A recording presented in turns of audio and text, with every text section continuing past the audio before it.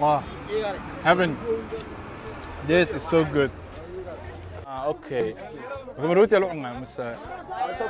These are chopped camel meats. Actually, it's uh, ideally um, eaten during breakfast. Um, I think it's one of the favorite uh, breakfast. Uh...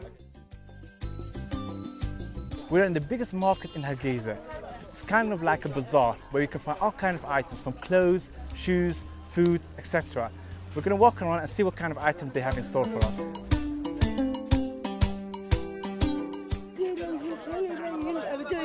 Hey, this is called dira. It's famous among Somali women. They use it actually uh, whenever they go to events, weddings, etc. And the funny thing is, yeah, they never reuse the uh, same dira twice. So every time they go to a new wedding, they have to buy a new dira. This piece of this piece of clothes are actually quite the most expensive in the market.